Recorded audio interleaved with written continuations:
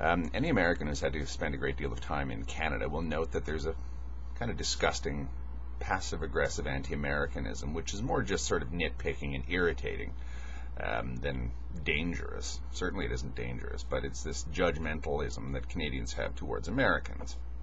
Americans do everything wrong, according to some Canadians.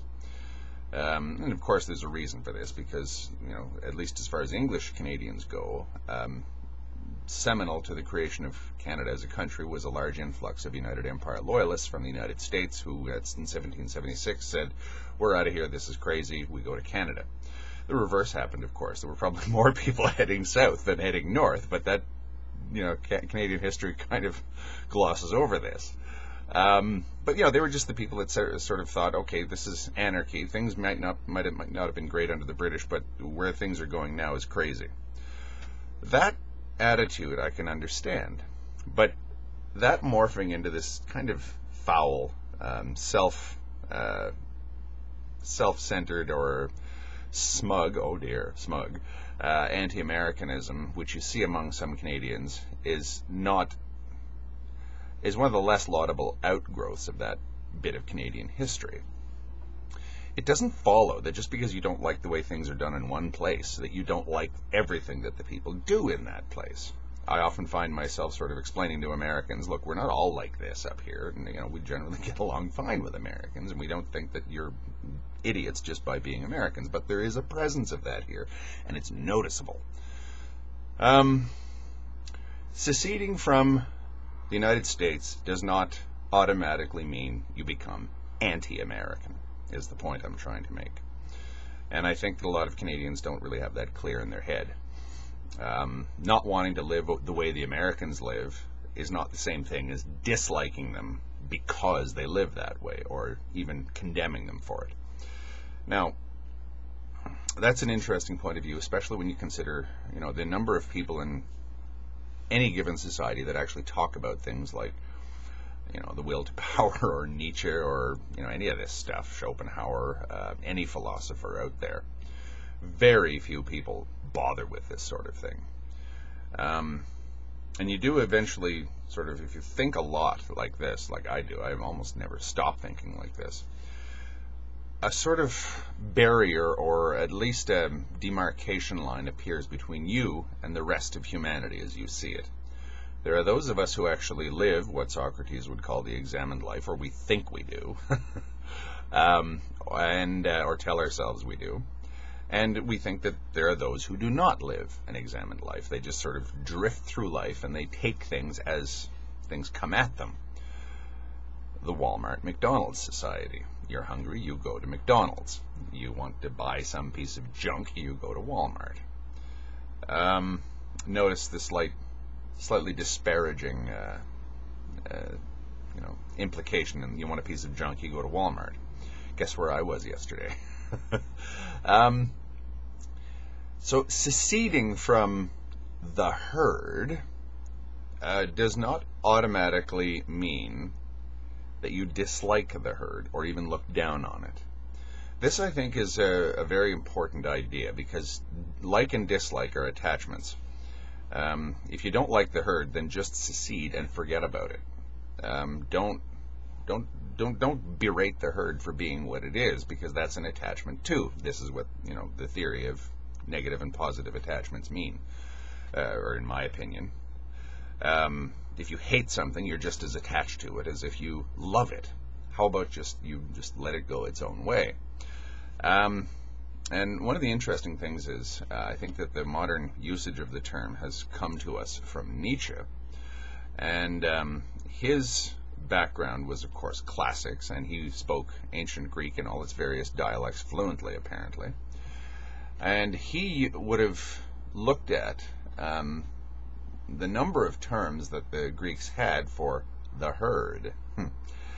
Um, the Spartans, for example, had the agelai, uh, or an agilaen, which was a group of noble boys who were grouped together, sent off into the wilderness to be trained to be proficient Spartans. Uh, they were called agelai, herds, herds of aristocratic young Spartans. So that wouldn't have had um, a pejorative in Doric Greek. It wouldn't have meant that the herd is something stupid. It's just, you know, we have um, we have groups of people that are identifiable one group from the other. That's the way the ancient Greeks would have seen it. Um, if they if they wanted to use a disparaging term for the herd, they would have I would assume they would use the word ochlos, which means mob. Um, democracy was often called ochlocracy by the Spartans, uh, rule by the mob, as opposed to rule by the people who are fit to rule, who can govern their passions. Um, and what I would posit is the view that we've sort of picked something up along the way that, um, I guess, just deliberately running counter to the utilitarian currents in our society. Um, a sort of pseudo elitism that's you know sneaks into any sort of philosopho geekish kind of person because in many cases we haven't been expelled from the herd. We've walked away from it. Um, in my case that's certainly the case. I just sort of I, I don't understand how the herd operates. I don't understand how it gets utility out of such a structured life. Um, but they apparently do. Now some people of a self-reflective bent have, you know, in my opinion, can't handle that fact that the the herd might be perfectly content being exactly what it is. Um, well-fed beast of burden type thing. Um, why why should that bother us if the herd is happy with its nine to five and its church on Sunday and its God and country stuff and um, Walmart and drive through at the coffee shop on the way to work and all the little rituals that everybody goes through and careful attention to the fashions of the day and uh, that kind of thing, uh, the rites of passage in society. Um, if that actually means something to these people, why should we dislike them for it? I'm not saying that everybody does, by the way. Um, uh, and it, you know, when, when Nietzsche says, if you want comfort in a secure life, then believe. If you want uh, to know what's going on around you, then inquire. I don't really see that it's inherent in that that one is superior to the other. If you're happy being asleep, why is it incumbent upon me for to damn you for the fact that you're sleeping? Why is it why does it follow that I dislike you because you're you've chosen not to look at things? Why is it that I dislike you because you've chosen to chew on that steak and say ignorance is bliss. Um, you know, I don't, I don't see that that the one actually follows from the other, and I think that it's a dangerous snare. Um, miso or misagelini. Ah, I invented this word today, although I may not have. Somebody might have done it as well. But uh, uh, hatred or dislike of the herd. You know, terms like sheeple. Why should we feel that way? I, I can understand, as I say, I can understand how the dislike of the American Revolution morphed into kind of a sickening anti-Americanism, anti-American subcurrent in Canadian thinking. Even though it doesn't logically follow the one to the other. I don't like it here, therefore I'm going over there. I'm happier here than I was over there. I forget about what's over there. But a lot of Canadians can't forget about what's over there, and they've decided that they're just going to, you know, throw little barbs uh, constantly at Americans for being Americans. Um, same thing about people who have seceded from the herd. Um, I can see how you might have seceded, you might have left in utter disgust, and the disgust doesn't leave you even when you've left the herd although it's entirely possible that you haven't left the herd. As I said, this sort of um, attraction and repulsion are two polarities of the same phenomenon. Um, if you dislike the herd simply for being what it is, then you are you're not really as apart from the herd as somebody who simply lets the herd go its own way with complete indifference. Um, and I, I, guess I just wanted to clarify that. Um, it, just because you understand that you're fundamentally different from everybody else, it doesn't follow that everybody else is wrong and you are right. Um, it's just that this isn't my nature, and it's in that person's nature, probably, by all appearances, to gain utility out of the great illusion that is the postmodern world. Maybe they're happy here in this cocoon that we've woven around ourselves, this sort of hyper reality that we've constructed as a shield between ourselves and phenomenal reality. Good for them. It doesn't work for me. Um, it never has. I've never really attempted to fit in in my life. Um, well, no, that's not true. But whenever I've attempted, I've failed miserably and decided that I wasn't going to bother anymore. I'll put it that way. Um, so I think that it's it's safe and non-elitist to use the term herd, provided it gets used in a way that doesn't um, have the, I guess, corrupting influence of becoming sort of backhandedly or left-handedly attached to it.